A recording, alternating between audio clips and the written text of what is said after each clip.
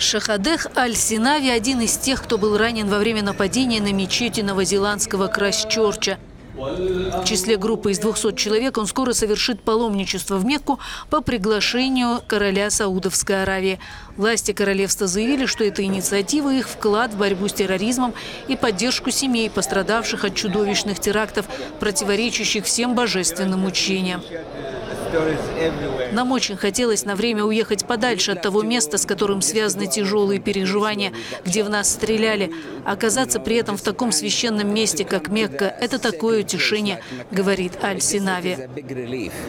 15 марта в результате нападения на мечети Крайсчерча погибли более 50 человек, десятки получили ранения. Принимая семьи, пострадавшие от терактов, саудовские власти заявили, что обеспечат их всем необходимым. В этом году в Мекке ожидается более двух миллионов паломников.